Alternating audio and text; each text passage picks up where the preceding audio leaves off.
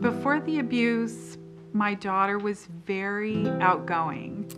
The ham of every photo, very beautiful, adventurous. Probably the best way to describe her is that she was fearless. It was my husband, her stepfather, somebody that I chose to bring into our family. She was 10. I no longer ate, I didn't sleep. I was in the worst time of my life. I'd gone through so much and I'd been seeing my family go through so much. I, I really gave up and everybody around me knew that.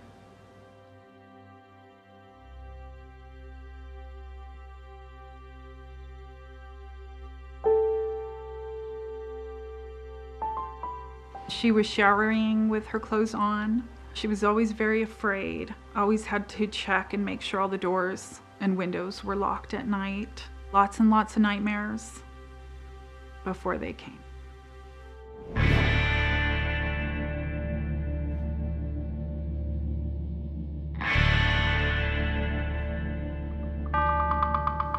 BACA stands for Bikers Against Child Abuse. We're an, an organization of bikers that come together for one cause to empower children that have been victims of child abuse to no longer be afraid of the world that they live in.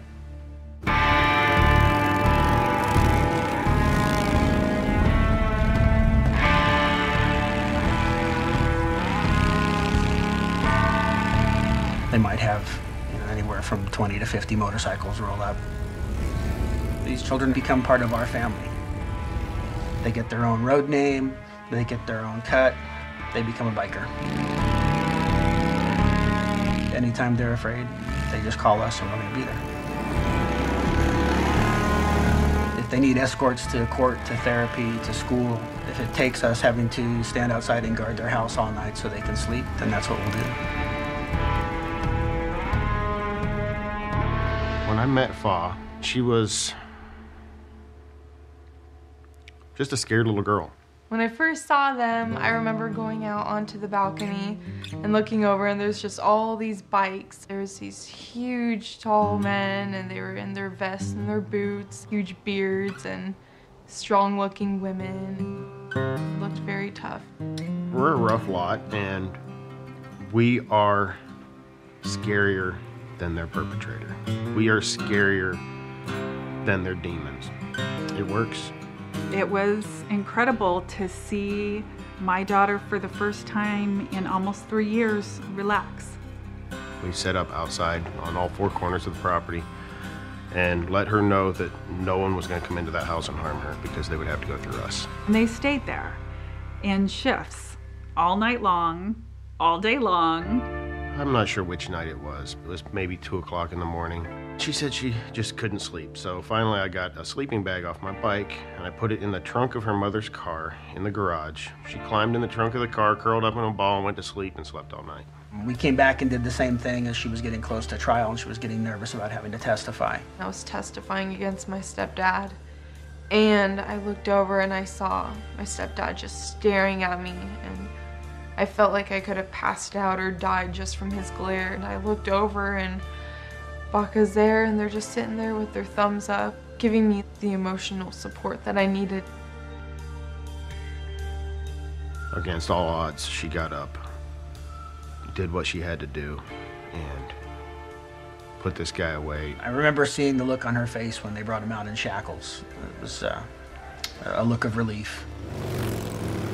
They were there to keep me safe through the trial, but they were also there to make sure that I could stay happy. I would hop on the back of Tombstone's bike and they would take me to school and all the bikers that were there would set off other people's car alarms because of how loud their bikes were and I'd be walking around with my helmet and my vest on and people would see me pull up because I was with so many bikers and everyone would be like, who are you with? And I'd be like, oh, those are my bodyguards. I felt like I was the coolest person ever. the transformation in them is physical, it's it's visual. You see them going from an abused child to an empowered child. They smile more, they laugh. It's really something to see. They get that any one of us would gladly take a bullet for them. Tombstone felt like a father figure to me. I knew I was family. Baca pretty much turned me into the woman that I am today. I've been able to overcome so many things that I know I wouldn't have been able to without them. She ended up graduating with honors. She's in college full time and working full time. I'm very, very happy. I'm moving up in my life. It is probably the most important role I've played in my life. These kids have no one, and we're. We're that single strand of barbed wire between hell and happiness for them. Never ever thought that I would be a part of an organization like this or any any kind of organization. I've always been kind of a loner. These kids get to you. All these kids are our heroes. We're we're just the guys that ride around and try to give them some support. I'm in it for life.